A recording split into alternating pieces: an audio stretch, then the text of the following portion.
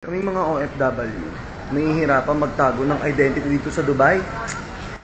Until I discover the Pamen Community Pantry.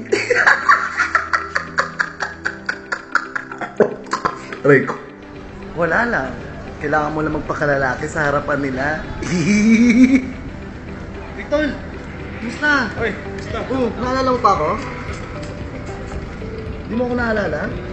Ka maalala ko ulit. Nilibre nga kita dun sa ano eh, sa 204. 204? Oo, di ba nung sa bar tayo tapos hindi ka na makauwi, nung nilibre nga kita tol. Ah, ganun ba yun? Ganito lang para magpakalalaki ng pulis pa. Makuha mo. Ano? Tayo tayo doon. Di ba magkakilala naman na tayo? Siyempre, di ba? Kailangan mag-banding ulit tayo kasi hindi tayo masyadong nakapag-banding. Pero nang chicks tayo dat. Oo, madami tayong chicks doon, tol. Ah, sige, Oo, tara. Tingin tayo ulit. Pamin Community Pantry.